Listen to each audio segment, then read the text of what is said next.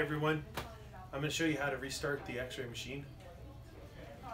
So, if you have your x-ray machine running right now, first thing you would do is turn off or close your study or suspend your study.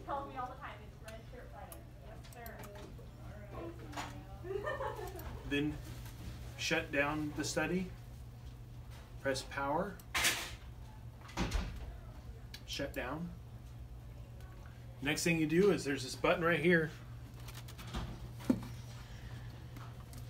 Press the power off. Next thing you do, hi everybody, back over here. Behind the column here, there's this white button, I mean this black button right here, right there. Press that off. Come over to the panel. This is the panel. You can lift it up and pull it out. It's got a little magnet here, so when you lift it up, it'll pull out easier. There's a green button. Press and hold the green button. So that's the process of turning it off. Now we're going to turn the system on. Press and hold the power button. Should turn green. And in a little bit, this should turn orange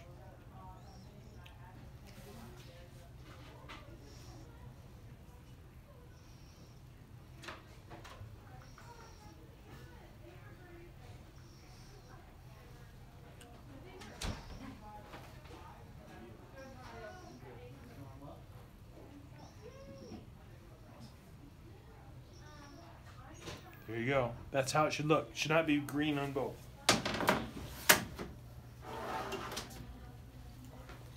Turn your column back on.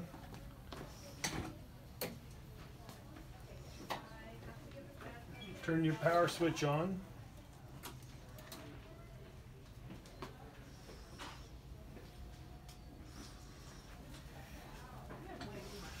Press the power button on your computer.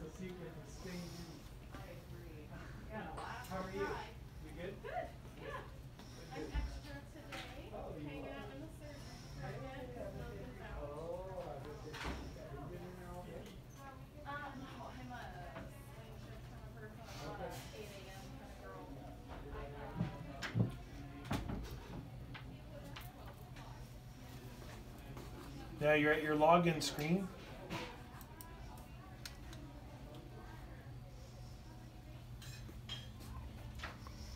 Password for it is right here. MyVet USA. This is to log into the computer. No caps. MyVet USA, no caps. Then start this program right here.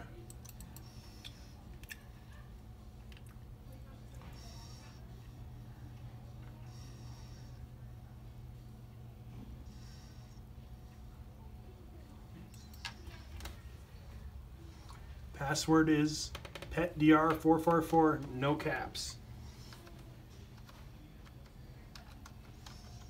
And you should pick this this user, not this one or this one.